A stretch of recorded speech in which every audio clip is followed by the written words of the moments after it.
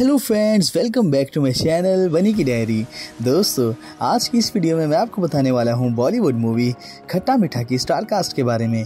दोस्तों, क्या आप जानते हैं, जब ये मूवी 2010 में रिलीज़ हुई थी, तब ये एक्टर और एक्ट्रेसेस बहुत हसीन और जवान दिखते थे। लेकिन आज 2023 में ये एक्टर और एक्ट्रेसेस कैसी दिखती हैं और इनकी रियल एज क्या हो चुकी है, अगर आप नहीं जानते तो आज की इस वीडियो में आपको पूरी इन्फॉर्मेशन मिलने वाली है। अगर वीडियो अच्छी लगे तो प्लीज़ वीडियो को लाइक कर दें और अगर आप हमारे चैनल पर नए हैं तो चैनल को सब्सक्राइब कर दें। तो चलें, वीडियो को करते हैं स्टार्ट।